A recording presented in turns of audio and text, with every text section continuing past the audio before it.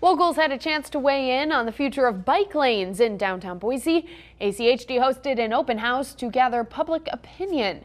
Four options are being considered. Those include moving on-street parking, adding a painted buffer or barrier, or having a bike lane instead of on-street parking.